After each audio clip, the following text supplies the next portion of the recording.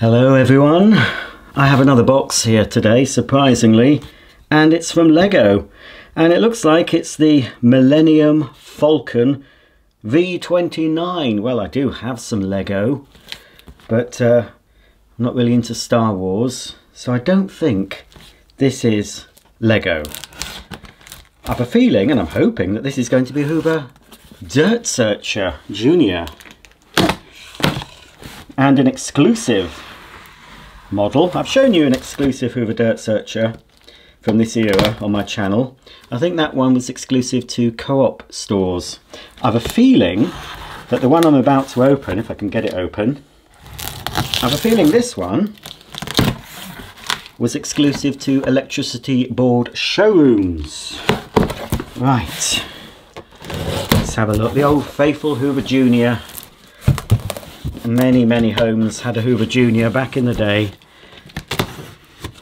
And the shape I'm about to reveal to you was the last proper Hoover Junior, you know, there are others called Junior, but this is the proper sort of soft bag on the side Hoover Junior. And this shape came out at first with the uh, U1036, the mustard coloured Hoover Junior when it had a restyle, and I have one of those. I've shown you that on my channel. Okay, oh, crikey. Never gets any easier, this unboxing lark. Right. Here's someone who knows that Hoover Junior can be dismantled for uh, packing, although they haven't taken off the bag.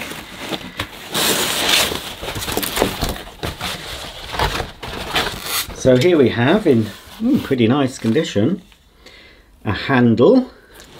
Ooh, well, doesn't quite match. Mm. oh yes, because this is a deluxe cleaner, because this is a dirt searcher, we have a deluxe feature which is the quick release cord storage. What a boon for the busy housewife of the late 70s, early 80s. I'll have to date this machine when I get it open. So there we go, and this little spring is the bag support Dubry. Of course, got a handle. It's complete with its end cap. Sometimes they go missing. So, so far, so good. Lovely, lovely colours that. Now, we also have, oh, well, I see we're missing. We're missing the old uh, bag retaining rubber ring. But incidentally, it's about the same, probably is the same, as a round belt Hoover Junior. This is a, uh, a flat belt Hoover Junior, but the previous Juniors used a round belt and they're just about fit. I'll have some of those definitely in my collection. In fact, I opened a much older brown Dirt Searcher, another probably another exclusive could have been, and that came with tons and tons of belts. Do you remember that video? I hit the jackpot with that. Belts and bags galore. Right, we have the lower handle still attached to the the beige cord. And we have the cleaner itself. Looks in fairly good shape. Mm. let's just check the packaging. Nice useful packaging. I can use that again. Oh while I remember please follow me on Instagram and Facebook, just type in ibaisaic and you'll find my Instagram and Facebook pages where I often give you little exclusive sneak peeks and behind the scenes pictures. Yes, right. Not too bad at all. Okay, well, I'm going to assemble this Hoover Junior try and find a bag for it and also I need to find a rubber ring to hold the black bag in place. Right, I'll be back in a, in a very short while folks, so hold on to your hats. Well folks, I've worked a bit of my magic on this Hoover Dirt Searcher Junior and uh, she's a little bit shinier than she was when I opened her. I haven't done a huge amount. Look at that shine. I've not looked into the motor. This I've just basically got my wet wet wipes out, got the worst off, T-cut and then some polish. It's amazing what you can do in 20 minutes to half an hour. Very nice, very good condition. I've looked at the belt, the belt will need changing and the headlight bulb obviously has gone. Right, so that's the worst of it. New brushes I expect would help. New bulb, new belt. And I'm going to fit, of course, a bag because there's no bag.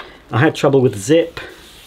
It was sticking. I've got some dry lube spray that's uh, fortunately not marked the bag because I, I tried to keep it on the zip but some of it went over but I think that's it it's worked. So I've got the old uh, bag support tube but we're missing the bag retainer aren't we? And I found it folks. Look I found it. It was at the bottom of the bag completely perished and in bits. So we'll throw that away and as luck would have it and not in the garage where I can't get to it but it was upstairs in my bedroom in a box. I found this genuine Hoover bag retaining ring. I think it's the bag retaining ring because it's grey as was the one I've just shown you in bits. If you want to order one of these it's uh, number 618175 if you can get one. But as I said a, a normal Hoover round belt from a junior cleaner should suffice. But it's nice to have a proper grey one, which I think this cleaner would have been would have been grey. Now, so, new, it's going to be a bit tricky to get on. Ah, there we are. Oops, push it back up and we can, whoops. There's one thing missing as well. There should be inside the bag a little, I think they called them document ties or something things you'd hold papers together once you've punched holes in them. So that's missing. So that would normally hold up and not drop down. So, again I found this, this upstairs, didn't have to search. A genuine H1 Hoover bag fitting a lot of different Hoover cleaners as you can see here. We've got the Ranger Senior, Standard Junior and an older Dirt Searcher single layer paper. So they will clog up pretty quick. And you'll notice on these is a circle. And that should correspond. Well there is a circle at the bottom of the bottom of the bellows. But anyway I think it uh, can't see the circle on the actual top of the bag. Oh it's at the front there just about. Anyway let's just fit the bag. I have fitted uh, Sebo BS36 bags to a junior after cutting the tops off but they're, they're quite hard to fit because they're a fleece bag. And uh, it's hard to get the bag retaining ring or band over it. It's pretty tricky now because as I say it's a brand new it's a brand new band but there we go. And that's fitted. So we can pop I think that needs to turn around a bit. There we go. That's it. can pop the uh, bag in. Tuck it in. Like so. And do up the zip. Bit of thread there. Right. For some reason there are two holes. The seller said there were two holes in the bag. But they're not holes caused by a mouse or something nibbling at them. They look like they're two very round holes. You can see one there. There's another one just at the top, so I'm not bothered about that. If a mouse had got to these, it would have been completely ruined, as I found out when I took my garden furniture cushions out. Some mice had made a nest and ruined them all. Never mind. I'll keep them indoors next time, the replacements. Right, so we've got the bag fitted. Look how old-fashioned that looks and I believe this is an 80s cleaner. I did take a peek at the serial number and I'll be sharing you sharing that with you in a minute. So here's the Dirt Searcher Junior. We've got the height control here on the side. At the moment it's on the highest setting for long pile carpets. If you tilt the cleaner back you can move it to medium and then you've got oops short pile carpet and then the lowest setting for very short pile or carpet tiles but I'm going to pop it back onto the highest setting so that just raises the wheels. In theory it should. Yes that's on the lowest setting. Just about see there look. Focus. There we go. Bit of oh missed a bit of dirt there. On the other side we've got the combined on-off and handle release pedal so a light touch releases the handle to the operating position touch it again and the handle lowers for cleaning under low furniture. And then press it again a bit harder and you'll switch the cleaner on and off. As I showed you earlier being a deluxe cleaner we've got the quick release cord hook but we'll leave it up for now. And on the other side another little bit of extra trim that you only got with the deluxe or dirt searcher versions. We've got this uh, bag topper here in plastic. And I'm pleased to see that this little loop be careful with it though that's intact. The uh, exclusive junior the cream and brown one I've got which I think is a co-op exclusive that was broken and it was held together with a paperclip I think. So great to see that. Also great to see once I get it back on great to see the Hoover roundel intact in a nice contrasting orange colour. Here we have the underside of the dirt searcher looking fairly tidy. Obviously I've given it a bit of a wipe just had some light dust but I've not uncovered the motor so I'll do that now. There's two screws or is it? No it's four I think now. Yes think it's four screws now on the later juniors to remove the motor cover. And I suspect there will be a build-up of fluff inside here. And also I expect we've got the dreaded suppressor. So while I'm here we can just see here the rating sticker. So as I'm unscrewing I will read it out to you so this is Hoover model U1108 serial U1108 207 00300 240 volts 50 hertz 300 watts made in UK by Hoover Limited so if I remember correctly We've got the model number U1108 followed by a 2 which denotes the year. And we know it's not 72 and we know it's not 92. So this model is from 1982. So this is an early 80s cleaner. One of my favourites. I think it is not one of. I think it's my favourite decade for, well, not just vacuum cleaners. my favourite decade to be alive. Yes, I'm that old. I, I remember the 1980s quite well. The clothes, the music, and of course, the vacuums. So there's four screws. They've also made it easier to assemble by incorporating the back wheels in the motor cover, unlike earlier models. I haven't unscrewed enough.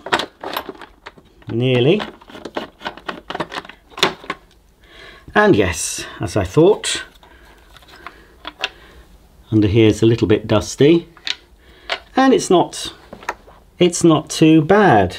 Hmm, I wonder if the suppressor's been removed from this or are they hiding on this model? Here we have a build-up of fluff and I believe some of these cleaners failed. Ooh, I think that's old Christmas tree in there from many years ago old pine needles. Some of these failed because sometimes a pin or maybe a paperclip or something could get manage to get its way underneath and short some of these terminals. So yeah, That's pretty standard for the inside of a Hoover Junior.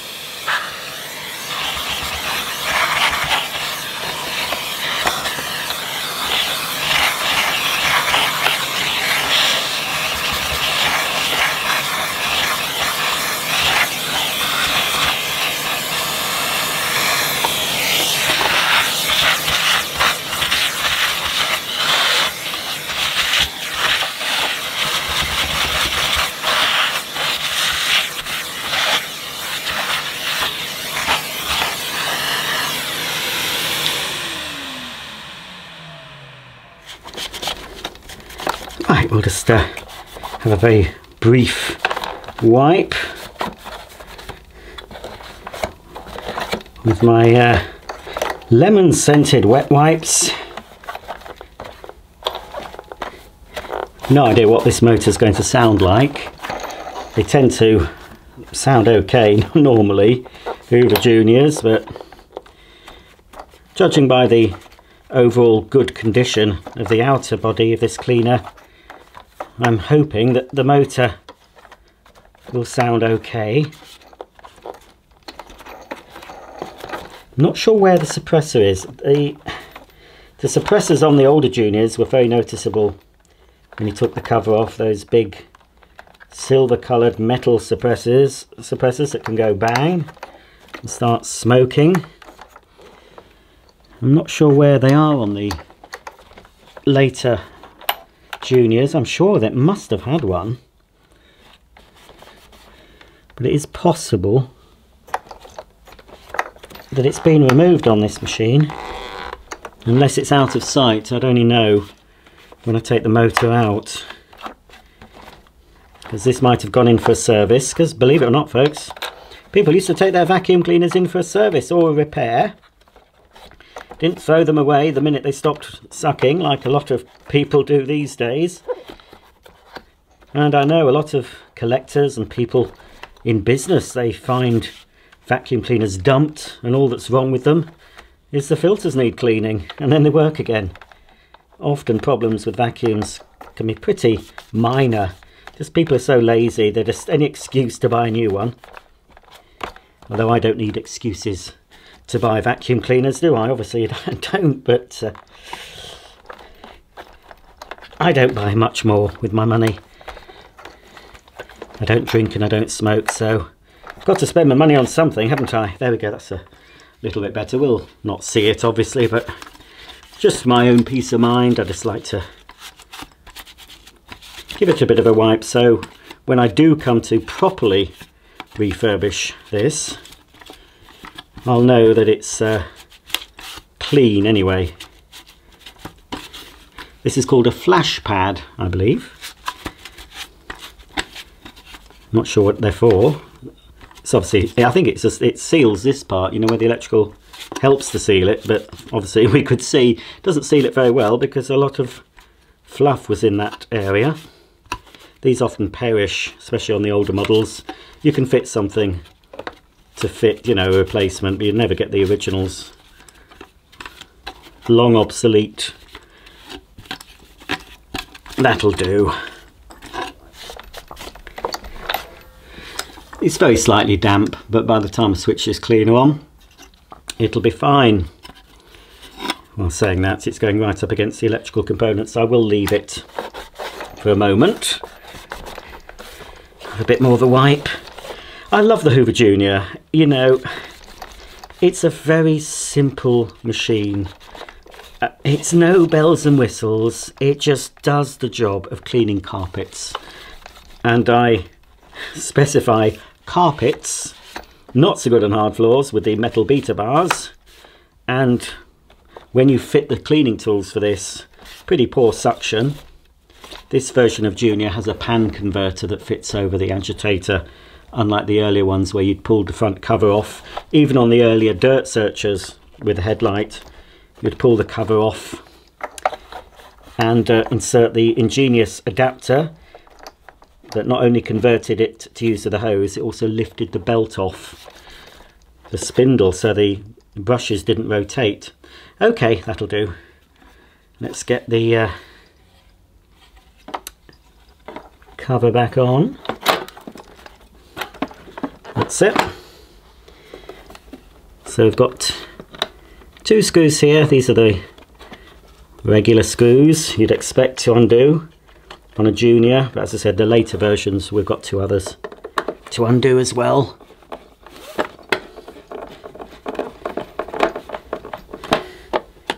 I've been watching a lot of classic 1980s Coronation Street. If, if you want to see it, they're all on YouTube. And of course, I like to spot the vacuum cleaners, and they did their fair, fair share of lending the same cleaner out, thinking that the viewer wouldn't notice, but I notice. I notice that Deirdre Barlow and Rita Fairclough had the same vacuum, an Electrolux 170. And there were several versions of Hoover Junior being used on the street as well. In fact, the Hoover Juniors sounded pretty bad. They all needed servicing by the sounds of the motors. But I like spotting vacuums on old shows. I'm sure you do. If you're still watching this, you're obviously interested in vacuums. If you've not gone to sleep yet, or started watching something else, you're if you're still with me, you're clearly interested in vacuums. You might be interested specifically in 1980s vacuums. That's right. There we go. Right then. All that remains to be done is to see if this cleaner works. I didn't show you the agitator, but it's a standard metal agitator with Hoover's beats as it sweeps, as it cleans action. And this being a later version, we've got the plastic base plate here. It was metal on the earlier versions, starting with the U1036, but does its job. Just makes it a little bit lighter. Right then, let's hope this Hoover Junior sounds as good as it looks. Okay, let's release the cable.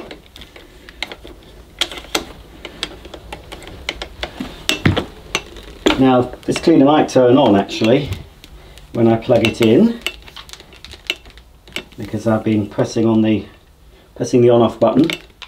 Okay, oh here's, I don't know if you're interested, here's the plug. I think it's a Volex, but it's branded Electra, which was the uh, brand name of appliances sold, well, sold exclusively at the electricity board showrooms. It was their own brand. So, as I said, I think this is an electricity board exclusive. Comment below if I'm correct or if I'm not, but I think I am. But uh, I don't mind being corrected. Right, here goes.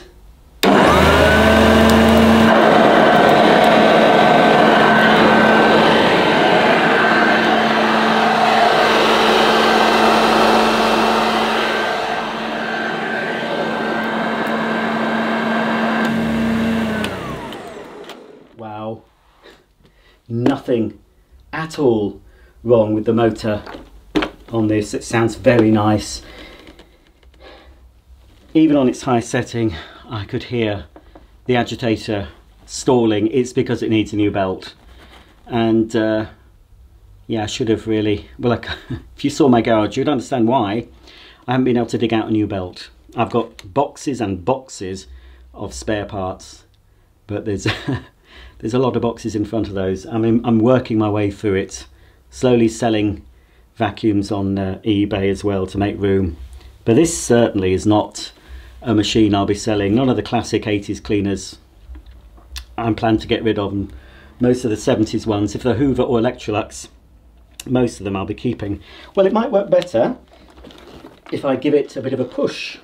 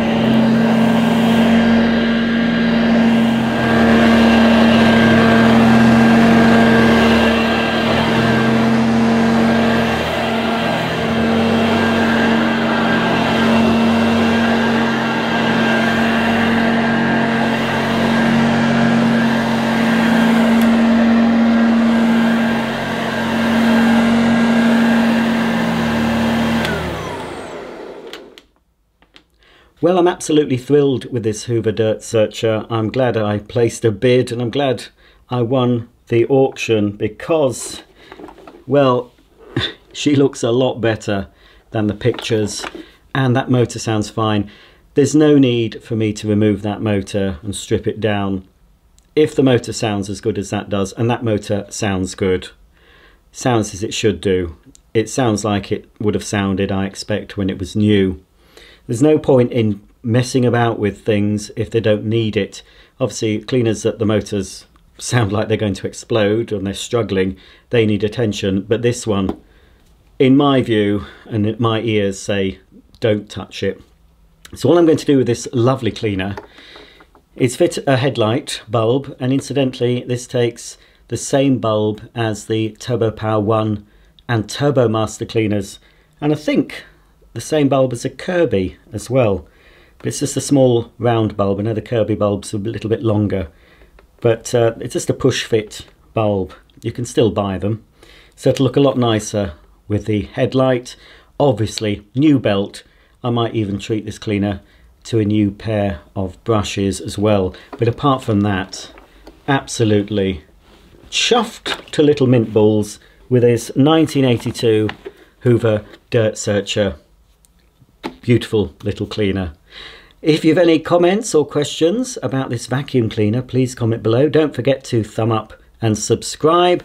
And I'll see you all very soon for the next video. Thanks for watching and bye for now.